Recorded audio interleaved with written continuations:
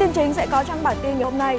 Bảng B vòng loại World Cup 2022 khu vực châu Á, đội tuyển Việt Nam không thể tạo nên bất ngờ.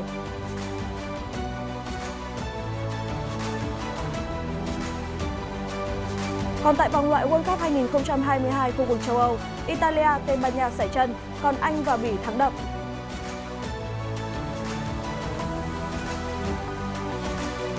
Mừng quý vị và các bạn đang đến với bản tin thế giới thể thao ngày 3 tháng 9 trên bóng đá TV và Thể thao TV. Vào đầu bản tin, chúng ta sẽ đến với sự kiện thu hút mọi sự quan tâm của người hâm mộ bóng đá nước nhà. Đó chính là trận đấu trên sân Ả Rập Xê Út của đội tuyển Việt Nam ở vòng loại thứ ba World Cup 2022.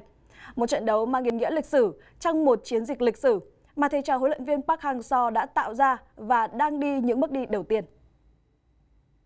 Trong đội hình xuất phát của Ả Rập Xê Út ở cuộc đón tiếp đội tuyển Việt Nam có 6 cầu thủ từng tham dự World Cup 2018 và tất cả các cầu thủ từng trải nghiệm đẳng cấp cao nhất của bóng đá thế giới đều đã sững sờ sau bàn thắng sớm rất đẹp mắt của Quang Hải.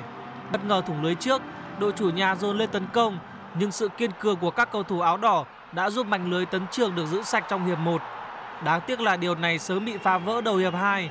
Bước ngoặt đến khi công nghệ VAR xác định bóng chạm tay Duy Mạnh trong vòng cấm và khiến trung vệ 24 tuổi nhận thẻ vàng thứ hai rời sân. Còn Ả Rập Xê Út có được bàn gỡ trên chấm phạt đền của Al Dosari.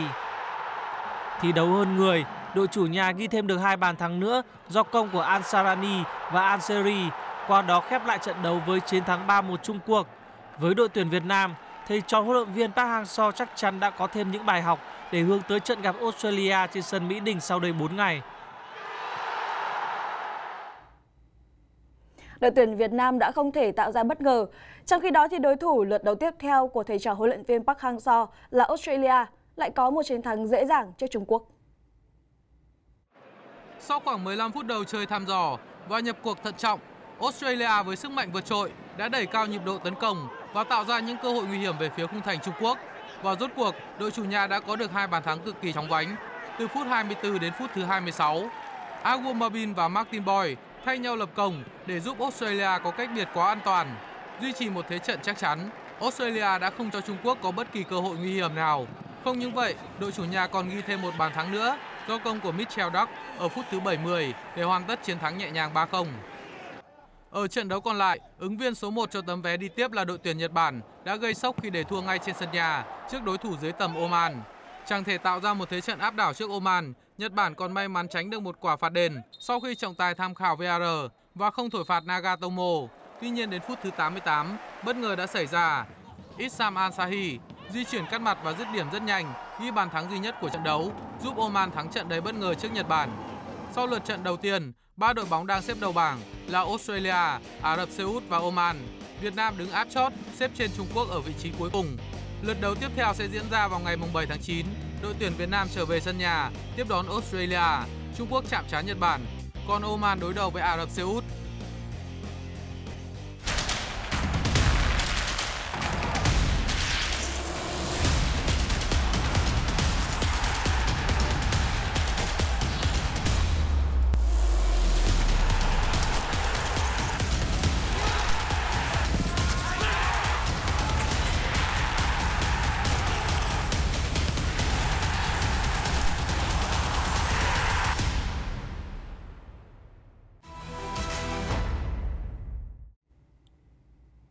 Tại châu Âu, sau thành công vang dội tại Euro 2020, Italia hướng tới nhiệm vụ tiếp theo là giành vé dự World Cup 2022. Tiếp đón Bulgaria trên sân nhà, đoàn quân của huấn luyện viên Mancini tiếp tục duy trì mạch trận bất bại, nhưng Italia đã không thể giành 3 điểm trọn vẹn. Tiếp đón Bulgaria trên sân nhà, Italia có khởi đầu dư mơ khi Federico Chiesa và Ciro Immobile có pha phối hợp đập nhà ăn ý để ngôi sao đang khoác áo Juventus ghi bàn thắng mở tỷ số của trận đấu. Chứng kiến bàn thắng này, danh thủ Enrico Chiesa ngồi trên khán đài chắc hẳn đã rất hài lòng với cậu con trai của mình. Tuy nhiên ngay trong hiệp 1, Bulgaria cũng đã tìm được bàn thắng san bằng tỷ số ở phút thứ 40 sau một thoáng mất tập trung của hàng thủ Italia. Người ghi bàn cho đội khách là Atanas Iliev. Hiệp 2 chứng kiến thế trận ép sân hoàn toàn của Italia. Các chân sút bên phía đội chủ nhà thay nhau bắn phá khung thành của đối phương, nhưng đã không có bàn thắng nào được ghi thêm. Tỷ số một đều không phải là mục tiêu của thầy trò huấn luyện viên Mancini, nhưng dẫu sao kết quả này cũng giúp Italia nối dài mạch trận bất bại trên mọi đấu trường lên con số 35, trong đó có tới 29 trận thắng và chỉ có 6 trận hòa. Ở trận đấu còn lại tại bảng C, Bắc Ireland đã thắng đậm 4-1 trên sân của đối thủ yếu Litva. Lúc này Italia vẫn chiếm ngôi đầu bảng với 10 điểm sau 4 trận. Thụy Sĩ dù mới đá 2 trận nhưng vẫn giữ được vị trí thứ hai. Tiếp theo là Bắc Ireland, Bulgaria và Litva. Tại bảng Y, đội tuyển Anh đến làm khách trên sân của Hungary trong cuộc cạnh tranh cho ngôi nhất bảng. Và sau trận đấu đêm qua, Tam Sư đã cho thấy sức mạnh để khẳng định vị thế độc tôn của mình ở bảng đấu. Sau hiệp 1 chơi áp đảo nhưng không tìm được bàn thắng, đội tuyển Anh đã khai thông bế tắc ở đầu hiệp 2 với pha lập công của Raheem Sterling. Cởi bỏ được nút thắt khó khăn nhất của trận đấu, thầy cho huấn luyện viên Gareth Southgate không còn gặp nhiều trở ngại để đánh bại hàng thủ của Hungary. Lần lượt Harry Kane, Harry Maguire và Declan Rice ghi tên mình trên bảng điện tử, góp công lớn vào thắng lợi 4-0 của đội tuyển Anh. Kết quả này giúp Tam Sư củng cố ngôi đầu bảng Y với 12 điểm tuyệt đối sau 4 lượt trận, trong khi Ba Lan đã chiếm lấy vị trí thứ hai của Hungary sau chiến thắng 4-1 trước Albania. Còn tại bảng E, đội tuyển Bỉ đã vượt qua chủ nhà Estonia với tỷ số 5-2 và Romelu Lukaku tiếp tục là gương mặt thi đấu nổi bật nhất với một cú đúp. Đáng chú ý, đây là trận đấu thứ 99 trong màu áo đội tuyển quốc gia của Lukaku và tiền đạo 28 tuổi đã có được 66 bàn thắng. Ở bảng E lúc này, Bỉ đang dẫn đầu với 10 điểm, ít hơn 3 điểm là Cộng hòa Séc, trong khi xứ Wales đứng ở vị trí thứ 3 nhưng đang đá ít hơn những đội phía trên hai trận.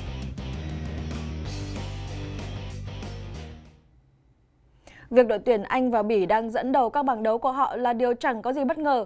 Thế nhưng chắc hẳn nhiều người sẽ cảm thấy ngạc nhiên nếu biết rằng đội bóng duy nhất toàn thắng ở bảng B cho đến thời điểm hiện tại không phải là Tây Ban Nha.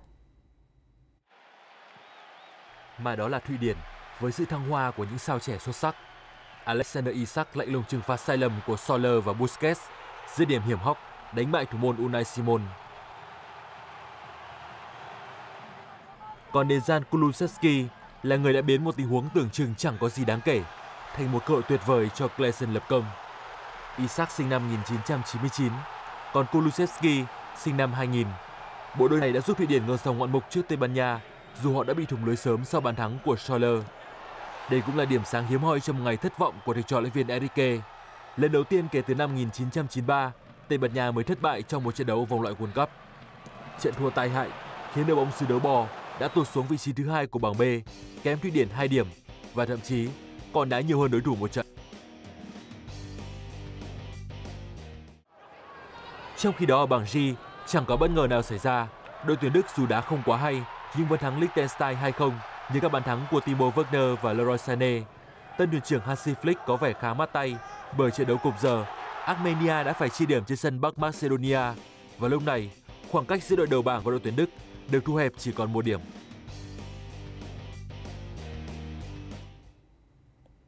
Những đội tuyển hàng đầu châu Âu vẫn đang tiếp tục chinh chiến tại vòng loại World Cup 2022.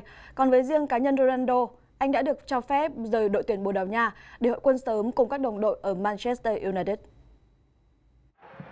Ngày hôm qua, huấn luyện viên Fernando Santos đã cho phép Ronaldo rời đội tuyển quốc gia và như vậy CR7 sẽ hội quân cùng Manchester United sớm hơn 5 ngày so với kế hoạch ban đầu. Quyết định của huấn luyện viên Santos là có lý do bởi Ronaldo sẽ vắng mặt ở trận đấu tiếp theo của đội tuyển Bồ Đào Nha do đã nhận đủ số thẻ phạt. Sau khi lập kỷ lục ghi 111 bàn thắng cho đội tuyển quốc gia, đồng thời giúp Bồ Đào Nha ngược dòng thắng 2-1 trước Cộng hòa Ireland, Ronaldo đã quá vui mừng và chấp nhận nhận thẻ sau hành động cởi áo ăn mừng.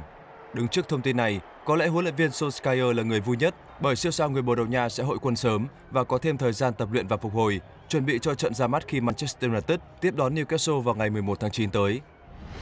Trong khi đó, AC Milan mới đây đã đón nhận tổn thất về lực lượng khi tiền đạo Oliver Giroud đã có kết quả dương tính với COVID-19 trong buổi xét nghiệm hôm qua. Giroud đã không được huấn luyện viên Didier Deschamps triệu tập vào danh sách đội tuyển Pháp thi đấu đợt này, cho dù chân sút 34 tuổi vẫn đang có phong độ tốt tại AC Milan. Được biết trong khoảng thời gian vừa qua, Giroud đã không tiếp xúc với bất kỳ thành viên nào của AC Milan và đang tự cách ly tại nhà. Nhiều khả năng Giroud cũng sẽ bỏ lỡ trận đấu với Liverpool ở vòng bảng UEFA Champions League vào ngày 16 tháng 9. Ở nội dung đơn nam US Open, nếu phải tìm ra ứng viên sáng giá nhất bên cạnh Novak Djokovic, thì có lẽ nhiều người sẽ lựa chọn Alexander Zverev. Chủ nhân huy chương vàng Olympic Tokyo vẫn đang thể hiện phong độ đỉnh cao và chưa gặp đối thủ xứng tầm tại New York. Tương tự Benchik, một số hạt giống khác như Petra Kvitova, Maria Sakkari hay Anett Kontaveit cũng đã lọt vào vòng 3 sau những chiến thắng 2-0 trong khi Anastasia Pavlyuchenkova phải vượt qua trận đấu kéo dài 3 set mới giành quyền đi tiếp. Tiếp theo chúng ta sẽ cùng đến với kết quả chặng 18 giải đua xe đạp La Vuelta. Ai có thể bắt kịp Primoz Roglic là điều được quan tâm nhất khi chỉ còn vài chặng đua nữa, cuộc đua áo đỏ sẽ an bài. Đây phải chăng là người có thể ngăn cản Roglic giành cú hat-trick tại La Vuelta? Miguel Angel Lopez của đội Movistar. Cua người Colombia đánh bại chính Roglic để về đích đầu tiên tại chặng 18 với thời gian 4 giờ 41 phút 21 giây. Primoz Roglic cả đích thứ hai sau 14 giây, còn người về thứ ba là Eric Mas. Trên bảng xếp hạng tổng, Roglic vẫn dẫn đầu và đã nới rộng khoảng cách với Eric Mas lên 2 phút 30 giây, còn Lopez đứng ngay phía sau với tổng thời gian chậm hơn 2 phút 53 giây. Ở một thông tin đáng chú ý khác, tay đua kỳ cựu Kimi Raikkonen quyết định sẽ giải nghệ sau khi mùa giải một năm nay kết thúc. Đây là cái kết tất yếu bởi người băng Phần Lan chuẩn bị tròn 42 tuổi và đã gắn bó với môn thể thao tốc độ suốt từ năm 2001 đến nay, với đỉnh cao là chiếc vô địch thế giới năm 2007. Việc Raikkonen rút lui cũng sẽ để lại một chỗ trống cho đội hình của đội Alfa Romeo ở mùa giải 2022. Xin lưu ý rằng trong thời gian các giải vô địch quốc gia tạm nghỉ, vòng loại World Cup 2022 khu vực châu Âu đang diễn ra và được tuần thật trực tiếp trên các kênh sóng của VTV Cup. Bên cạnh đó, quý vị khán giả còn có thể thưởng thức rất nhiều sự kiện đỉnh cao khác trên ứng dụng VTV Cup On hoặc On Cộng. Thông tin vừa rồi cũng đã khép lại bản tin ngày hôm nay của chúng tôi tại đây. Cảm ơn sự quan tâm theo dõi của quý vị và các bạn. Xin kính chào tạm biệt.